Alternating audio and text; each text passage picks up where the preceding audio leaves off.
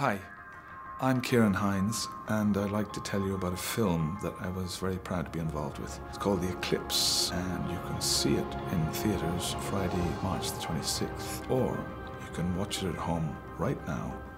Here's how. Who were you talking to last night? I wasn't talking to anybody. I was uh, just dreaming. Were you dreaming about Mum? Sometimes we're in a state of heightened emotions that uh, take our normal center, which runs on its own clock, its own rhythm, that when people, whether they suffer from remorse, anxiety, panic, that the emotions become so huge and other things are capable to come into those emotions. Are they summoned up or have they arrived? The character that I played is called Michael Farr, and he's a very ordinary man, really. He's a woodwork teacher in the local school. He lost his wife to cancer. He really hasn't come to terms with the grief. In this small town, the small Irish town, they have one event a year, an international literary festival. Michael has just been a volunteer. This writer, Lena Morelle, who turns up, she's written a book which is titled The Eclipse and it is about the experience with ghosts. You believe in ghosts, don't you? Why? Have you seen one?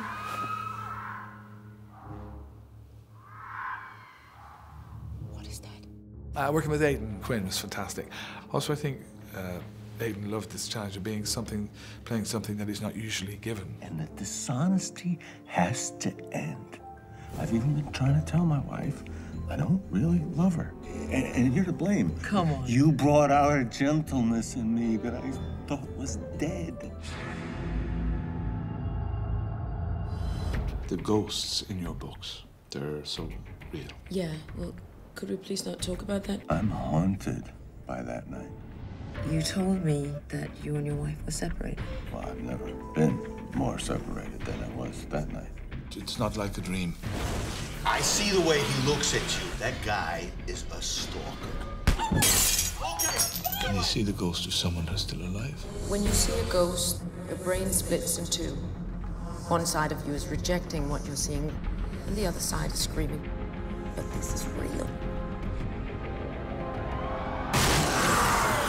Eclipse premieres in theaters Friday, March 26th. Can't wait? Now there are two ways you can watch it in your own home before it hits theaters. Order it now on demand or pay-per-view, or watch it on HDNet Movies Wednesday, March 24th. To get HDNet Movies, call your provider and order today.